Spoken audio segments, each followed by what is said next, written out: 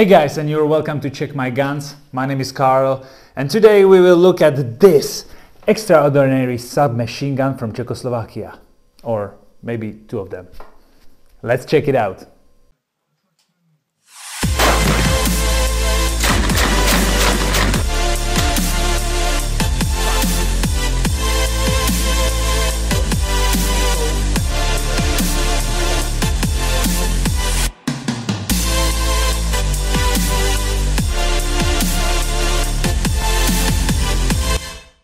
As usual, let's start with a history.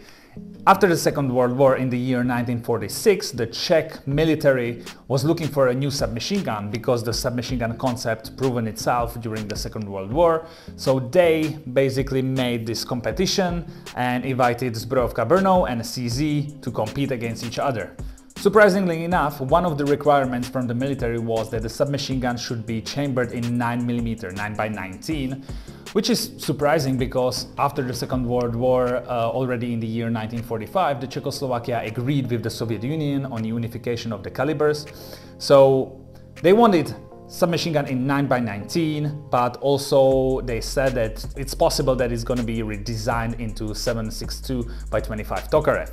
Another requirement was really interesting also. It was vaguely phrased in a way that the shape of the submachine gun shouldn't interfere with obstacles and the soldiers should be able to go through the bushes and woods and be able to shoot from any kind of position. So also laying down to be able to crawl with, with the submachine gun. So it was vaguely phrased like that. So each company took a different approach. If we look at the prototype that was brought by Zbrojovka Brno, Brno Farms company, the ZB47, it's really weird. Look at that shape. It has it has a magazine under the angle. It's really cool and weird at the same time. Well, CZ came up with two prototypes. Basically, the first was uh, marked 47/1, and that was just adjusted VZ38 machine pistol. Machine pistol, that was before the Second World War, so there was no term of submachine gun, so they just called it machine pistol, machine gun pistol. Uh, so that was just adjusted VZ38 machine pistol for 9x19 uh, caliber and it had also bump, bump safety. We'll look at that also in a moment here. And the second prototype was the 47-2, which is basically what we have here. Later on it was renamed to CZ247. The first prototype 47-1 was also called CZ147. Later on it was also decided to change the caliber or try to change the caliber for 7.62 by 25 Tokarev and that model is called was called the CZ347.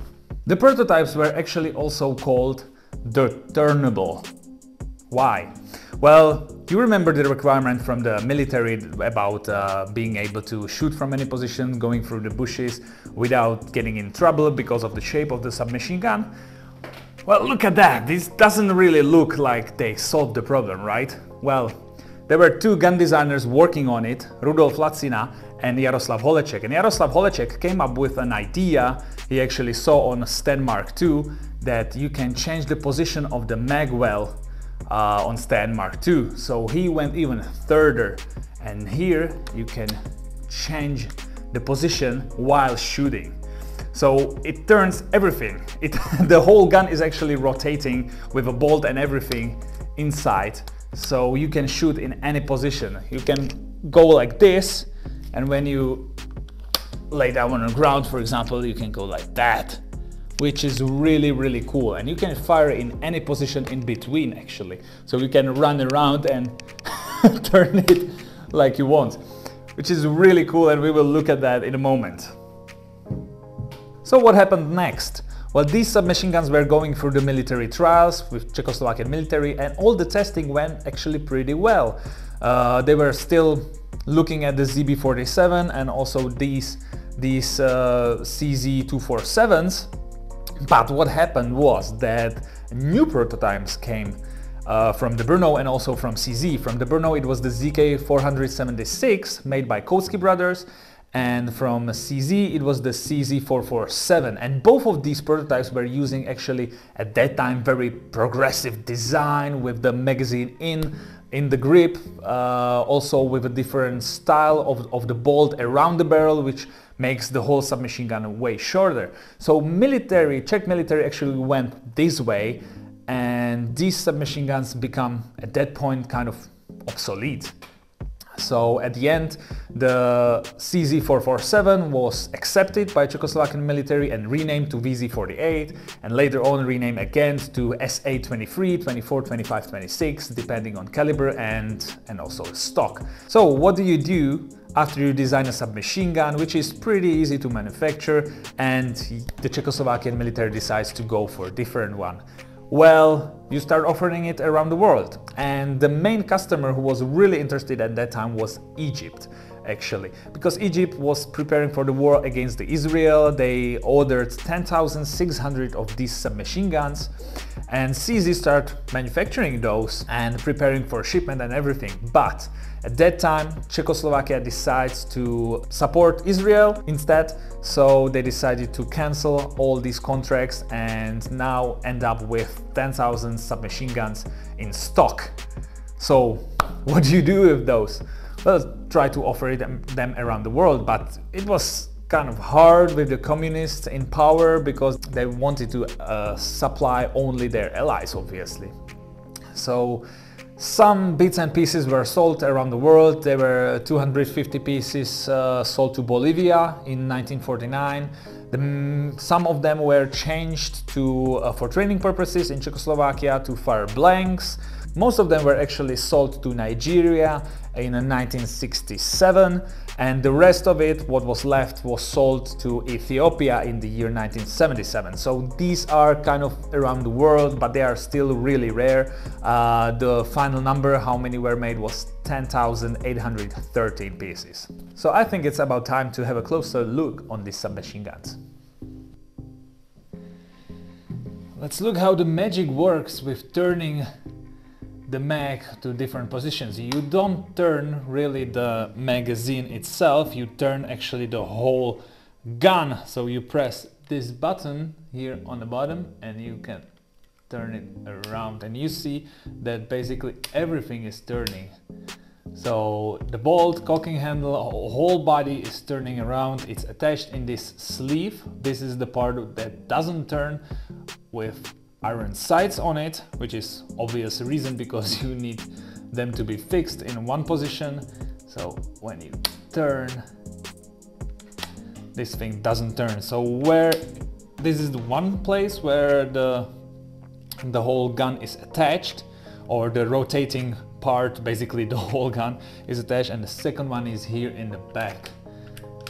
This is the this is the button. We will look at that when we disassemble it. This is the end of the recoil spring, which holds it into place.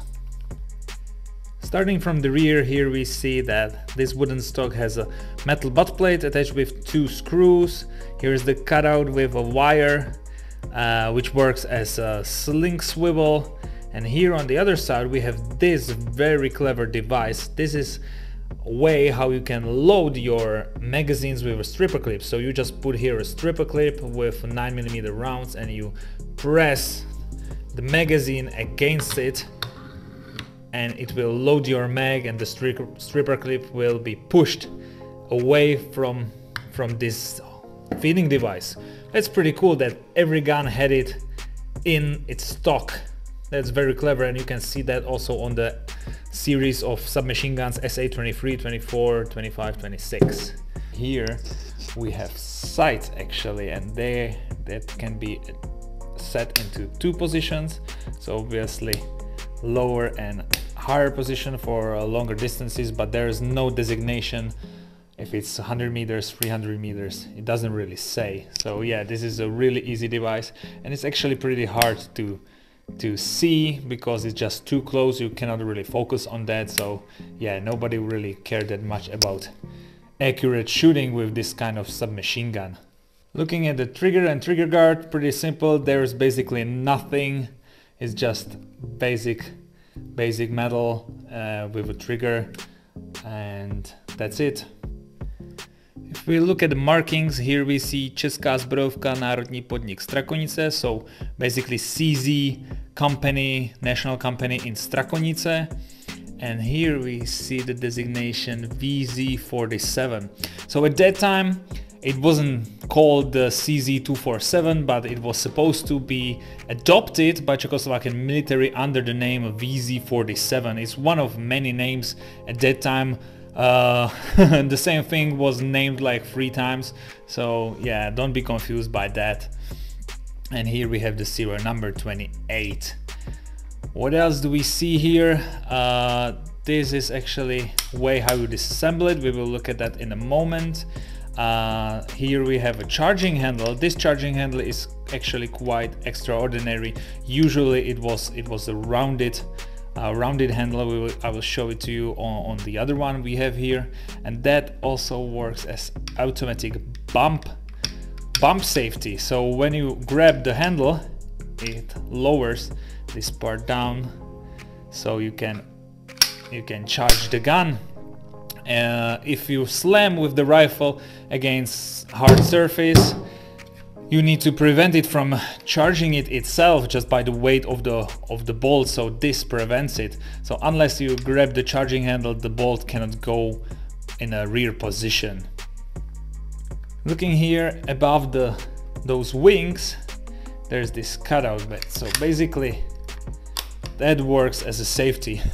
so you hold it like this so you cannot really fire and when you're ready to fire you just put it back and fire. Because of the fact that you can turn this around, there, there are no other markings. And you basically have charging handle now on the left side of the gun. And if I turn it again it's basically on the top. You have these little metal wings on sides which actually cover the cutout in the body. The cutout is there because of, of the sear of uh, the trigger because the trigger obviously doesn't move so it needs to be able to uh, catch catch the bolt either way. So if it's turned this this way or that way. So yeah when we disassemble it you will you will see it. So yeah here's the button. And against that button in this position is the mag release which is here protected by the side side wings out of metal. But it happened to me actually that I wanted to turn it and accidentally grabbed the mag release and the mag fell down on the ground. So I started like this. And that was unexpected. Yeah that's not a good thing. When that happens here we see the ejection port and barrel nut which attaches the barrel to the rest of the body and another sling swivel which freely goes around the barrel. And that's basically it let's take a look at the magazine. It's just straight uh, double stack magazine for 9 millimeter. It what I read is that it was supposed to hold 40 rounds. The marking starts at 10 then there's 20 and there's nothing else. So who knows? I haven't tried to put a 40 rounds in it but it's it's pretty damn long. So I I believe that, that it can hold 40 rounds. There's one more proving mark I didn't notice at the beginning and that's the Czech proving mark Czech lion over here. Other than that there is nothing else on the gun. No markings at all. And here we have the CZ 347 so it's basically the same thing just made in caliber 7.62 by 25 Tokarev. And this is one of the differences that this round charging handle instead of the sticking one just plain plain stick. so the rounded one is way more common with, common with CZ247 and other than that there is obviously different marking on it. CZ uh, Česká zbrojovka Národní podnik Strakonice but this time it's a VZ48 and marking serial number 04 there's one more difference and that's the way how you take out the magazine. Because obviously the magazine is different for the different caliber and it was actually rounded shape. I can show a picture well, you released it with a button instead of the lever here on the bottom. So that's another different thing. Other than that, it works just the same way. Alright, so now it's time to disassemble this gun. So first thing you do is that you grab this sticking out piece which pushes the recoil spring inside and now you can easily just pop it out. What we see inside is the trigger. The trigger works really, really interesting uh, in an interesting way that if you press it just halfway, you just go for semi-automatic function, but if you press all the way, it goes down and you are on fully auto. So you don't really have a selector here. You just all do everything with a trigger. If you press it like this, you go semi, and here if you hold it you go full auto which is pretty cool. Here we have the wings that actually protects if I turn it protects uh, dirt from or, or the inside of the gun from getting any dirt inside when you turn it around. And this is the space that fits here on the sear of the trigger. So if I continue with the assembly here's the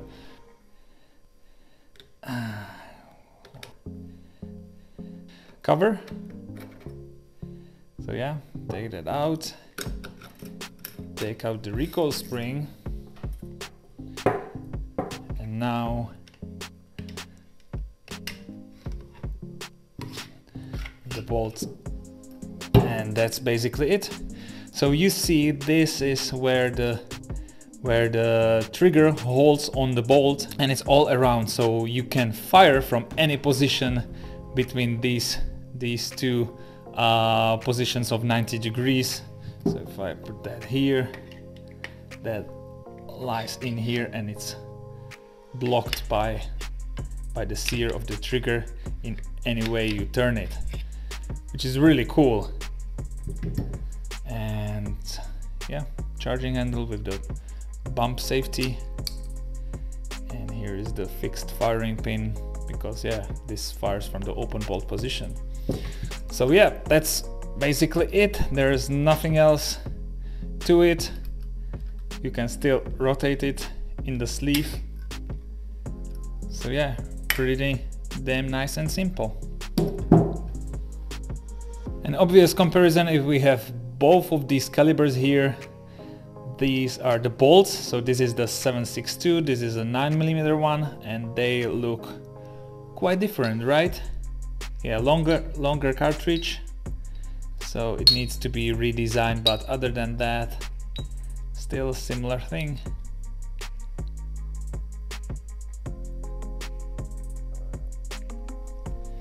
So let's put it back together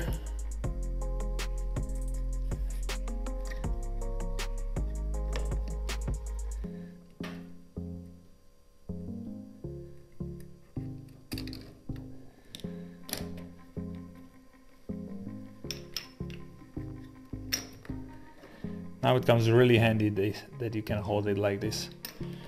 And you put the cover back in,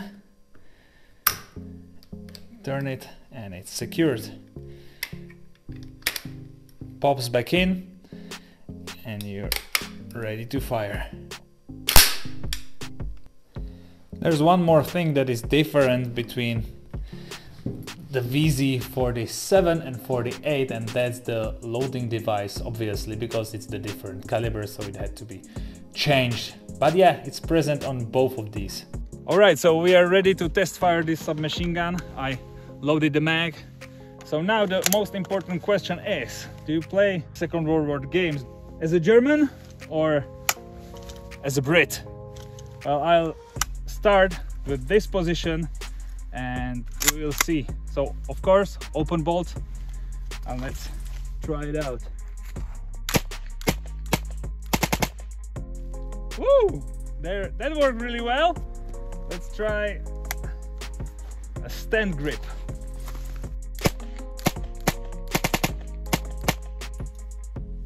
It's pretty cool.